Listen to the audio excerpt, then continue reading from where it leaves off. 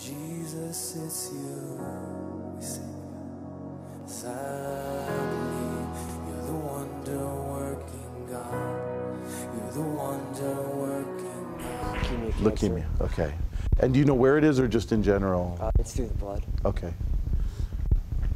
I've seen so many people healed of it, by the way. So, Lord Jesus, God, I bring your son before you.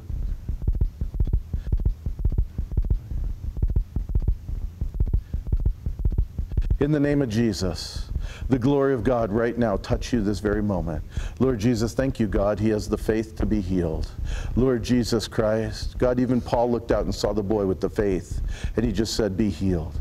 Same way, God, I command right now the blood to be free, all the leukemia to be gone, the spirit of cancer come out of him right now. Come out of him right now. There it is. It's rising out of you right now. In the name of Jesus, it's gone. In the name of Jesus, I feel it right now. Your body, I feel freedom right now. It's like your body just lost weight. I could feel it. In the name of Jesus, resurrection power, fire, anointing. Oh, kingdom of God, power of God now. In the name of Jesus, right now, I heal you and set you free. In the name of Jesus, you, the devil, never touch him again.